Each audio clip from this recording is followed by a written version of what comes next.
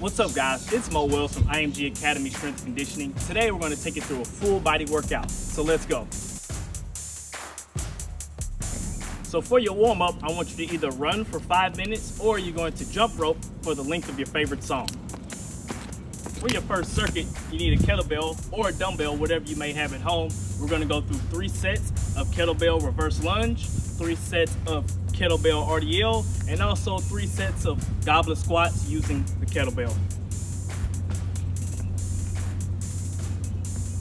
Make sure that while you're doing your kettlebell reverse lunge, you keep your back flat, chest is tall. Also, the kettlebell is going opposite of the leg that's in front. For your kettlebell RDL, the leg going back has the kettlebell in that hand, same hand, same leg, back flat as well, neutral spine.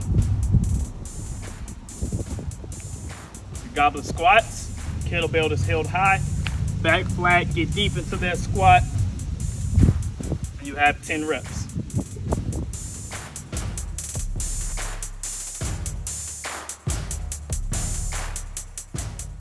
So now, going into our second circuit, it's all about the upper body. So we're gonna do banded curl. You're gonna have three sets of 10.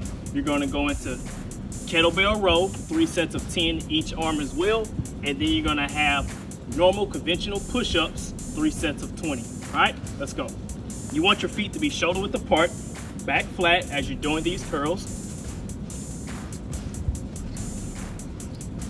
Going to your kettlebell rows. You can use a little bit heavier kettlebell or dumbbell if you have it back flat, feet are split, rowing.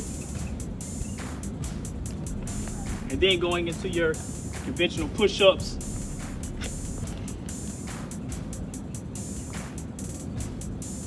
Back flat as well, chest to the ground.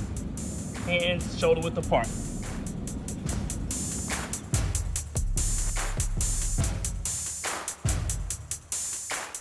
So now for our last circuit, we're gonna focus on the abs. All right, so what you're gonna do, you're gonna use a med ball, or if not, you can use a dumbbell, kettlebell, or any type of implement that you may have. We're gonna do med ball V-sits, you're gonna do 20, and then you're gonna go to sit up with a press, three sets of 15, and then after that, we're gonna do in and out sit-ups for three sets of 25. Make sure that while you're doing your sit-ups, your legs and arms remain straight.